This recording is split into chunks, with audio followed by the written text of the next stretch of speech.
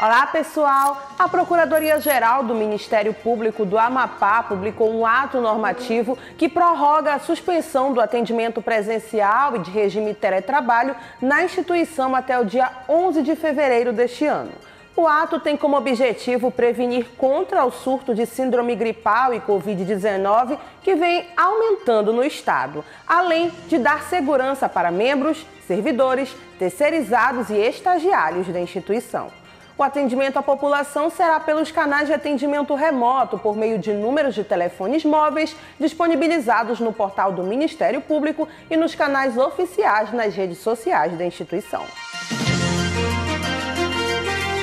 E mudando de assunto, iniciou nesta segunda-feira, 31, e vai até o dia 2 de fevereiro, o período de pré-matrícula para estudantes que pretendem ingressar nas séries de ensino fundamental 1, que é do primeiro ao quinto ano, e a educação de jovens e adultos, o primeiro e a segunda etapa, nas escolas públicas das redes municipal e estadual de ensino.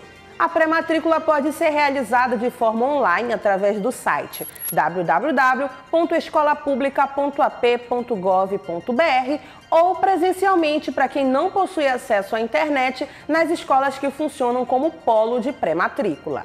Com a medida de biossegurança, a Secretaria de Educação passará a exigir, além da documentação necessária da pré-matrícula, a cópia de cartão de vacinação contra a Covid-19, que deverá ser anexada junto às demais documentações entregues na escola de destino. E atenção, a entrega do cartão de vacinação não invalida o ato da matrícula.